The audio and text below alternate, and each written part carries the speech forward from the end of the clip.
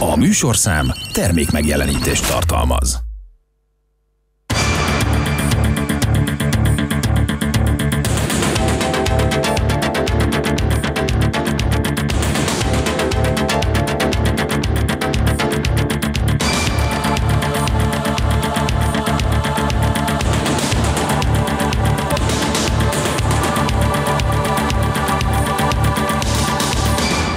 Köszöntöm a Fehérvár Televízió nézőit. A Köztér Extrában folytatódik az önkormányzati képviselőkkel folytatott beszélgetés sorozat. Stúdiómban köszöntöm sok szeretettel Mészáros Attilát, az ötös számú körzetnek a képviselőjét, ami nagyon sok városrészt foglal össze, hiszen mondhatjuk azt, hogy ez az egyik ilyen legszínesebben összeálló körzet terület, benne van Tóváros, Alsóváros, ugye, tehát tényleg egy ilyen Sóstó és, Sóstó és, szőlők, igen, igen. Sóstó, őrhalmi szőlők. Köszöntöm a tévénézőket. Tehát, hogy valóban egy ilyen nagyon változatos körzet, mondhatjuk ezt, nem?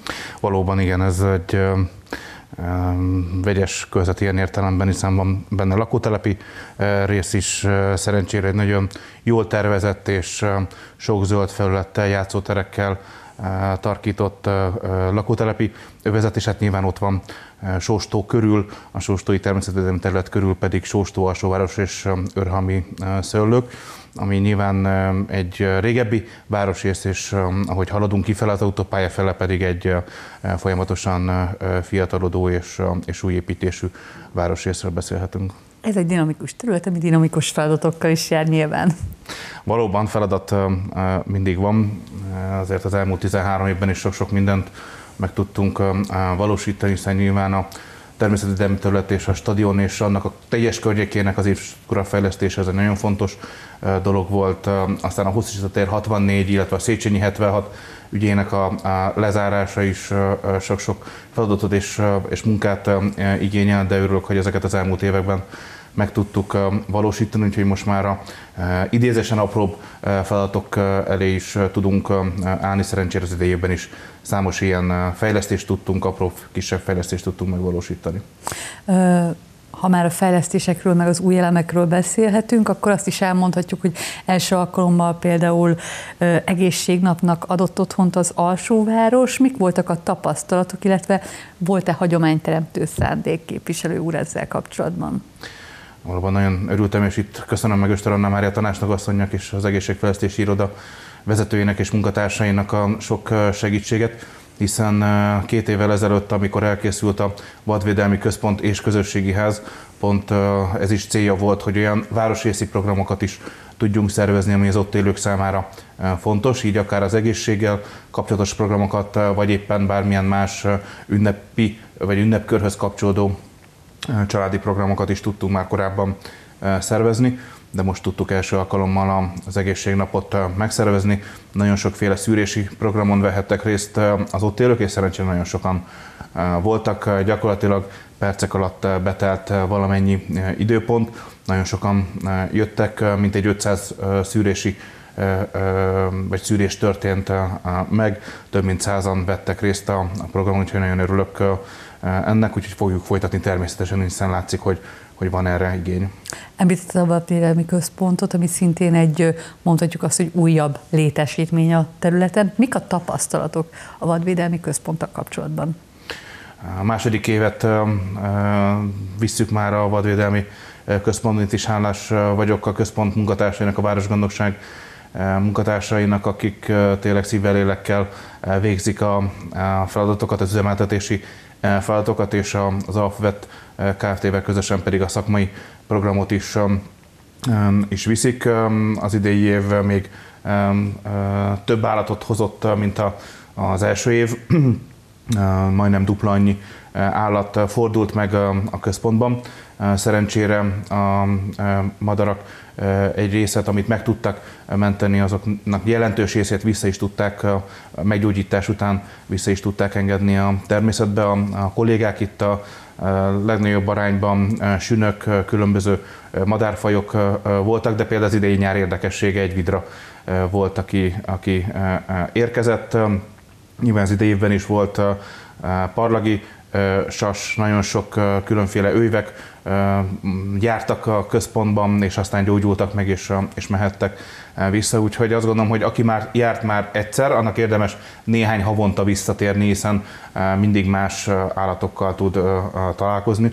Úgyhogy én buzdítok is mindenkit, hogy aki teheti, az néhány havonta menjen vissza, hiszen mindig másokkal találkozik. Az országos híre pedig abszolút megvan már a központnak.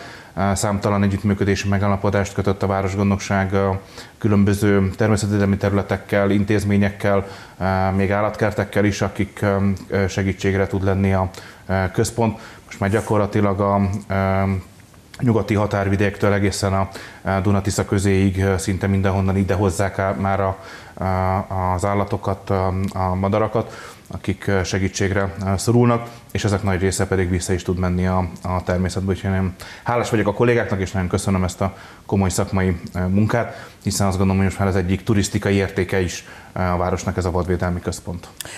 És mondjuk az egy szerencsés egybeesés, hogy nyilván ott van a Sóstó környezetében és területében, ami szintén talán mondhatjuk azt, hogy egy nagyon vonzó és látogatóbarát kialakítás is megvalósulhatott ott valóban azt gondolom, nagyon büszkék lehetünk arra, hogy országosan is egyedülálló módon egy város közigazgatási határán belül egy több mint 200 hektáros természetvédelmi területtel rendelkezünk, amit a kormány támogatásának köszönhetően meg tudtunk újítani, és hát folyamatosan fejleszték is a kollégák a sóstot minden évben egy-egy új elemmel bővül, és hát nyilván most már azért lassan 6-7 éve történt a felújítás, tehát most már az állag megóvás és a különböző eszközök cseréje is néha idészerű. Ugye az idei évben a zöldanyához közel például a beporzok rétjét alakították ki a kollégák itt az Országos Méz és Méhészeti Egyesülettel közösen, úgyhogy most már az Országos Méz lovagrendi találkozó is például Sóston volt az idei évben, jelezve azt is, hogy mennyire fontos ez a, ez a, történet is Székesfehérvárnak, illetve Sóstónak, úgyhogy igyekszünk minden évben mindig valami újjal meglepni az arra látogatókat. Szerencsére nagyon-nagyon sokan látogatnak ki Székesfehérvárig, akár csak egy délutáni vagy hétvégi sétára, és hát számtalan csoport érkezik az ország különböző pontjaiból is. Vegyük sor egy kicsit azokat a fejlesztéseket, amik így megvalósultak, vagy megvalósulnak az idei esztendőben az önhöz tartozó térségekben. Tóvárosi Tagóvoda az idejében ünnepelt az 50. születésnapját. Éppen ezért tudtunk fejlesztéseket megvalósítani 55 millió forint értékben. Alapvetően a konyha szorult már komoly felújítása, illetve a kültéri terasz újult meg, illetve egyéb kisebb lépcső és egyéb javítások történtek meg az intézményben. Szerencsére itt az elmúlt években már a vizes blokkokat, az öltöző részeket, a fűtéskorszerűsítést, a nyílázáró csere egy részét már meg tudtuk valósítani. Úgyhogy ezzel is egy újabb lépést tettünk annak érdekében, hogy az ott járó több mint száz gyermek az biztonságban tudhassák a szülők az óvodai ellátás idejére. Az általános iskolában pedig a napelem került az intézmény tetejére, itt is segítve nyilván a üzemeltetési költségeknek a karban tartását, de megyünk tovább, hiszen reméljük következő néhány évben a teljes nyílázárut szeretnénk az iskolában kicserélni, illetve folytatni a felújítási programot. Az egyéb fejlesztések tekintetében pedig az idei év legnagyobb fejlesztése az több mint 22 millió forint értékben a toronysor melletti sétány, illetve parkban a sportpályának a felújítása nagyon időszerű volt, hiszen az aszfalt nagyon elhasználódott, felpuffadt és balesetveszélyes volt már. Szerencsére nagyon sokan használják, családok, gyermekcsoportok sokat játszanak ott, úgyhogy sikerült egy új aszfaltréteget tenni, a kapuk mögötti hálókat ki tudtuk javítani, úgyhogy ez volt egy nagy fejlesztés, és látható már, hogy ismét birtokba vették a gyerekek, illetve a fiatalok ezt a sportolási lehetőséget. Folytattuk a járdafelújítási programot, most a Toronysor 3-4 előtti járdaszakaszt tudtuk megújítani. Emellett a kint az Örhalmi szőlőkben, a Körte utcában befejeztük a közvilágítás fejlesztés, ott az utca egy részén volt csak Eddig az évig közvilágítás, most az utca végig. Tudtunk még néhány új közvilágítási oszlop kihelyezésével a teljes közvilágítást abban az utcában is megvalósulni, megvalósítani. A Sárkeresztúri úton pedig nagyon fontos, hogy a több mint 15 éve megépült kerékpárút mellett a térkőpatkázást folytassuk, hiszen annó az út és a kerékpárút közé Murva, illetve Kavics került, aminek nyilván nagyon komoly karbantartási feladatai vannak. Egyrészt a városgondnokság részéről, és más pedig a lakóknak is, hiszen nyilván amikor az autóval ezen keresztül mennek, akkor a kerékpárútra felverődik a kő, ami nyilván balesetveszélyes a kerékpárosok, a gyalogosok számára, az ott élőknek pedig hát mondjuk úgy, hogy söprési feladatot jelent. Tavaly évben már egy komoly szakaszt meg tudtunk oldani, és az idei évben is a 143-tól Sárkeresztúri 143-tól a Domb utcáig egy komoly szakaszt tudtunk megvalósítani. Még úgy látjuk, hogy két-három ütemben a teljes sárkeresztúri utat így meg tudjuk majd oldani. Hát emellett nyilván a forgalomcsillapítás is fontos feladat, hiszen a teljes őrhalmi szőlők lakópihenő övezet, amelynek a szabályait Hát mondjuk úgy, hogy nem mindig sikerül betartani. Elsősorban Szelektív a... szabálykövetőkkel találkozhatnak igen, igen, ott. Igen, igen, elsősorban az ideérkezők nem, nem használják szabályosan a, lakópihenő övezet adta szabályokat, elsősorban nyilván a 20 km per órás sebességkorlátozás és a jobb kész szabály az, az komoly kihívást jelent a néhány autós számára. Így fontos volt és muszáj is volt, hogy a Szőlő és a Halom utca keresztődésébe egy forgalomcsillapító pódiumot helyezzünk el, hiszen akik a Halom utcára érkeznek a Sárkeresztőri út felől, mondjuk úgy, hogy néhány esetben a megengedettnek a sokszorosával hajtottak végig a Halom utcán, ami pedig nyilván balesetveszélyes és lakópihenővezetben Abszolút szeretnénk ezt visszacsökkenteni, az ilyen szabálysértéseket. Ennek első eleme volt ez a forgalomcsillagító pódiumnak a kihelyezése. Emellett pedig nyilván ahova kértek a lakók oda plusz padokat helyeztünk ki, hogy a közösséget is tudjuk kicsit építeni, hiszen jó látni, hogy délutánonként, hétvégenként, akár az idősebbek, akár pedig a fiatalok, kismamák játszótér közelében, vagy a játszótérre tartva megállnak, leülnek ezeken a padokon, beszélgetnek egymással, úgyhogy ezt szeretnénk fejleszteni, az is több pad került ki a lakótelepre, és például a Mandoló utcába is kértek a lakók, hogy nagyon jó lakóközösség alakult ki, úgyhogy ezek a, azok a fejlesztések, amik az idei évben megvalósultak, és hát nyilván folytatjuk majd 2024-ben is. Hogyha már a közlekedésről ennyit beszéltünk, hiszen volt szó patkákról, járdákról, utakról, akkor azt is mondhatjuk, hogy mondjuk személy szerint azt tapasztalom, hogy a, az a szokásos dugó, ami jellemző volt a Horváth István Széchenyi út kereszteződésére, az azért valahogy mérséklődött, nyilván ez összefüggésben van a déli összekötővel is. Valóban, bár rendkívül változó még különböző napokon, attól függ, hogy éppen milyen erős iskolai vagy óvodai nap van, attól függ a, esik a az forgalom, eső. esik az eső, vagy éppen lecsökkene 8-10 fokra a hőmérséklet a korábbi 20-22 fokról. Az egyértelmű, hogy, hogy segített a Széchenyi Horváth István kereszteződés átteresztő képességén és forgalmán a déli összekötő. Én magam is sokat használom a déli összekötőt, hiszen nyilván azok, akik a megye déli részéről, vagy éppen arról a városrészből, vagy éppen az ipari parkból szeretnének Ráchegy, Öreghegy, a videóton környékére jutni, azoknak ez óriási segítség, hiszen nem kell a, egyrészt a Széchenyi Horváth keresztődésen, másrészt pedig a belvárosra megkerülve eljutni az úti célukig, úgyhogy ez, ez nagy segítség.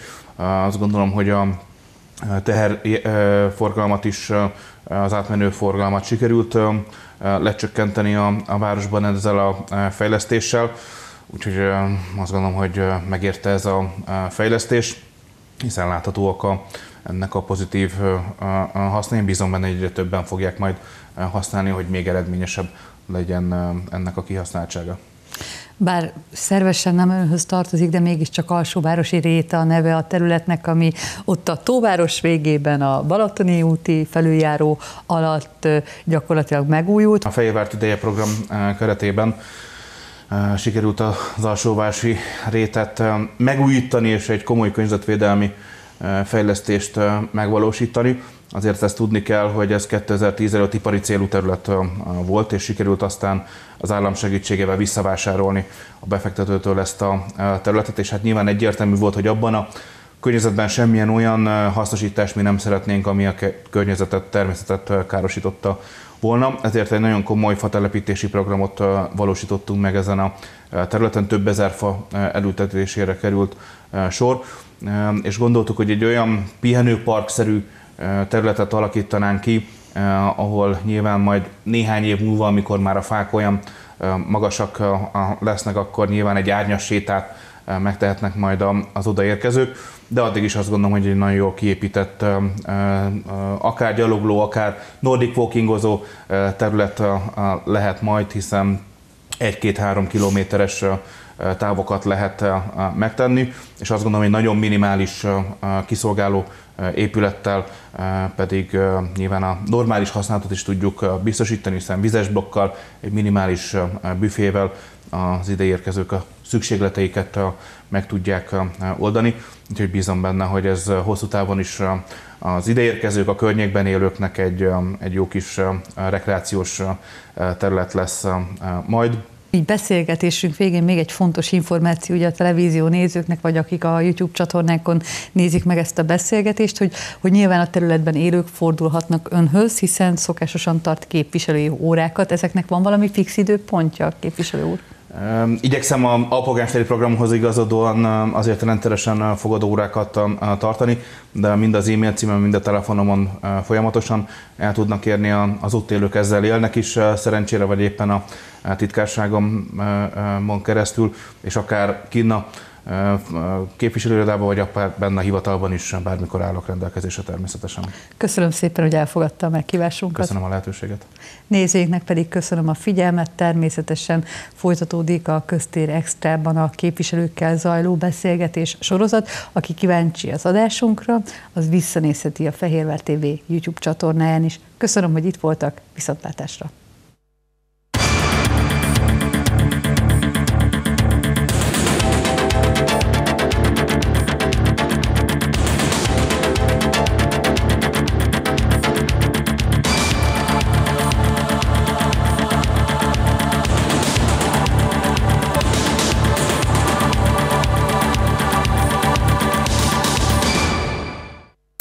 Műsorszám termék megjelenítést tartalmazott.